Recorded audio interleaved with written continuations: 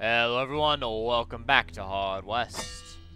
The bartender recognized Cassandra immediately, brightening when he saw her.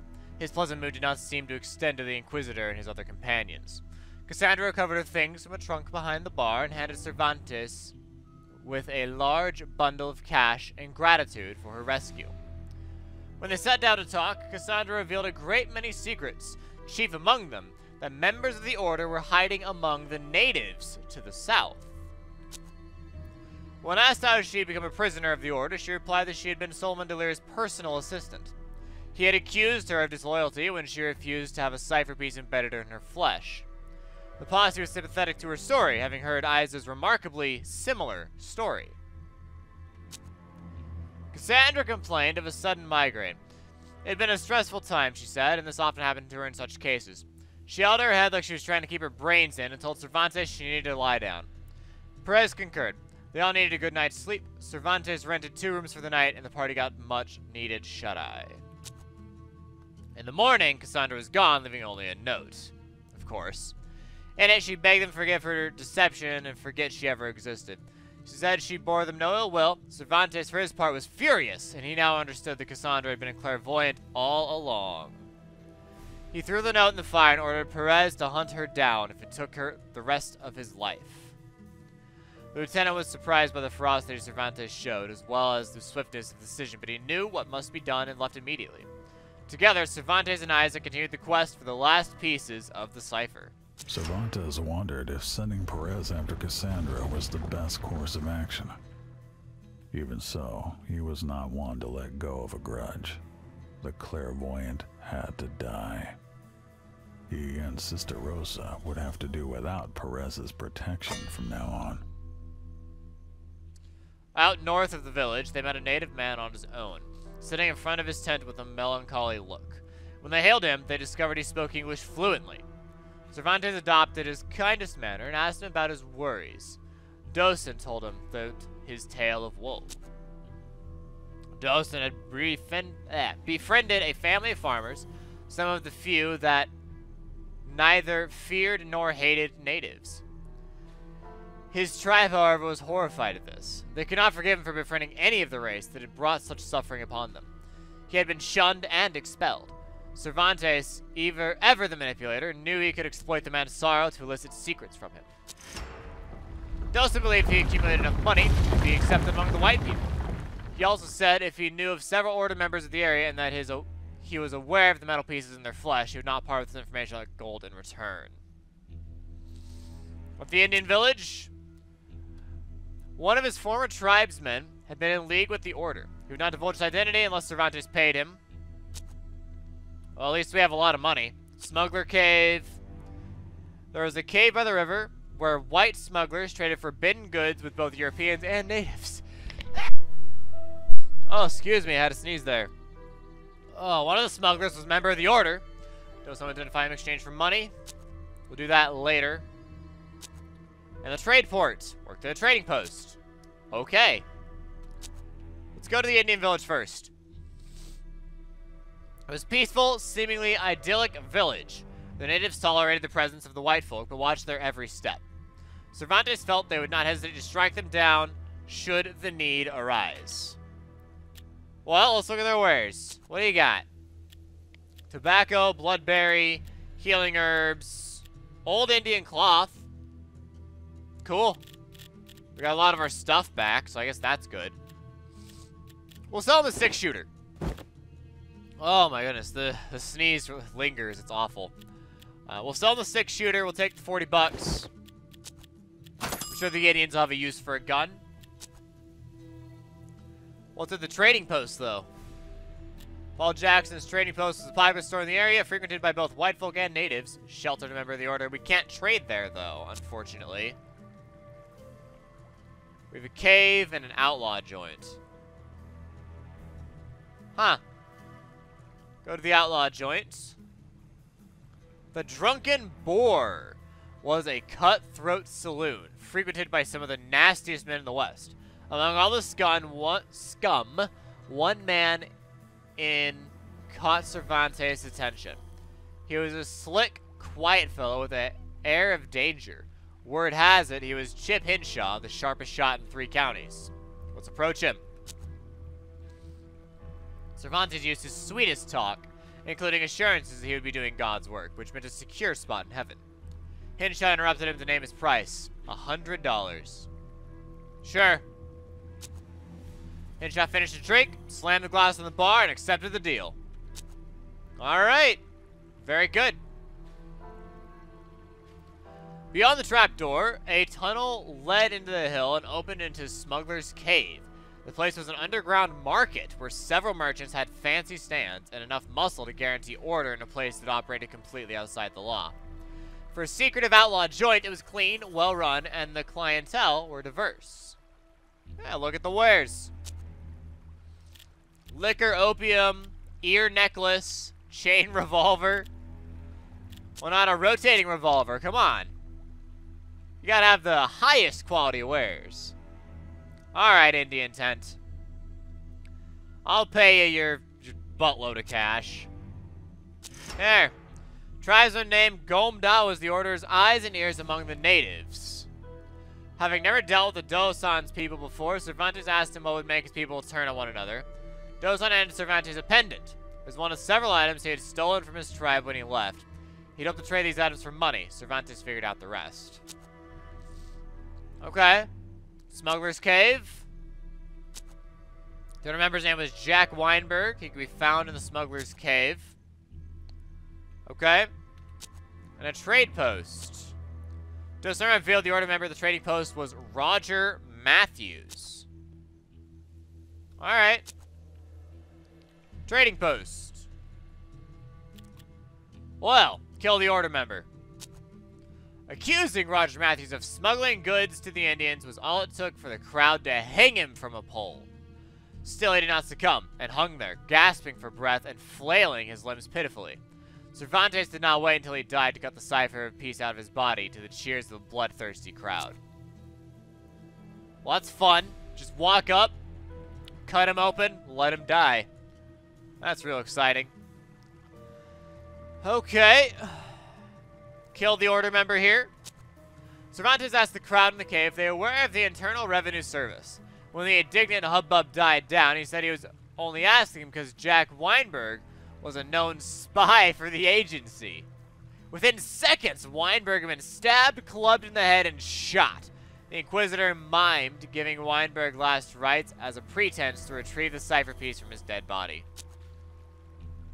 One of the merchants approached Cervantes, introducing himself as a merchant of miracle potions, but also one who could spot a true visionary.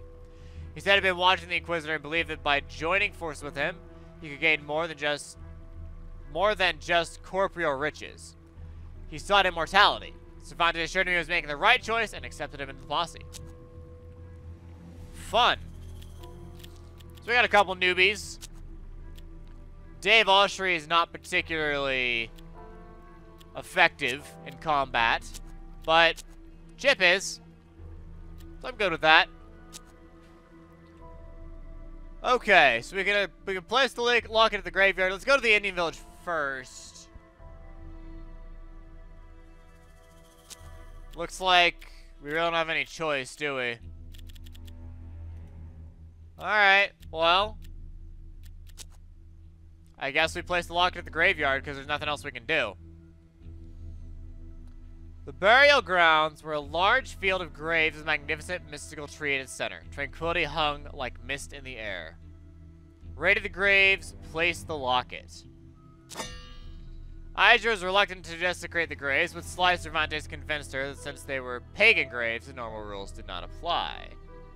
Oh, we got a weird monocle at the Fate Trader. Nice. After several hours, they had dug up most of the graves, collecting many valuables in the process.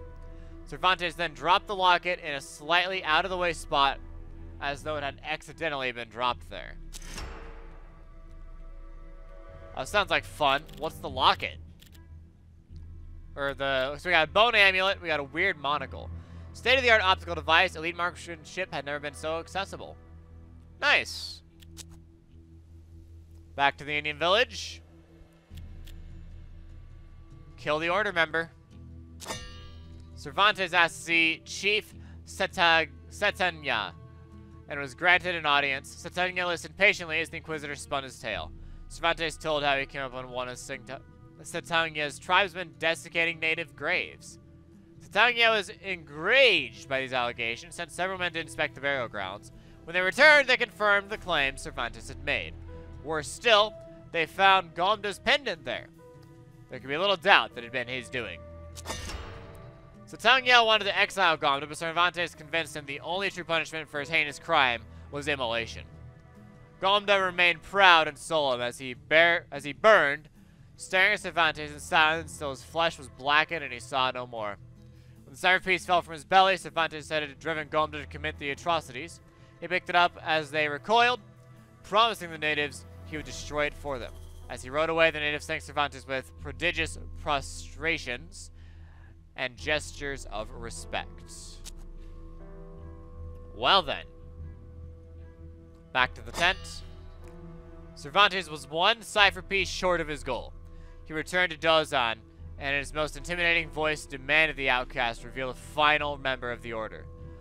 Dosan tried to resist, but eventually confessed. It was the shaman. He lived in isolation to the west of the village.